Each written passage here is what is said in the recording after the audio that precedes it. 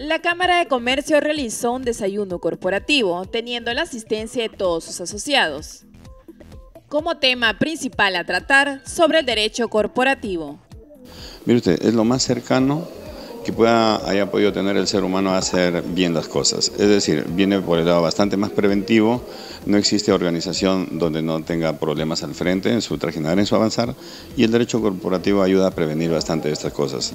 Hay diferentes campos de especialidad dentro de esta rama del derecho corporativo, contrato, prevención, arbitraje, muchas otras cosas que realmente ayudan a que las organizaciones y los hombres de negocio se concentren en sus responsabilidades esenciales y estas cosas, digamos así, eh, puedan estar ya previstas de algún modo. De esa manera, la productividad tanto de las personas como de la organización va a estar porque su esfuerzo estará concentrado en sus quehaceres.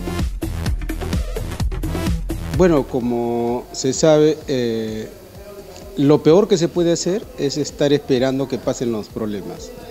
Entonces, una herramienta para prevenir los problemas y de paso evitar multas y todos los conflictos que significa lidiar con el sistema judicial es este, que las empresas deberían prepararse en el tema de derecho corporativo.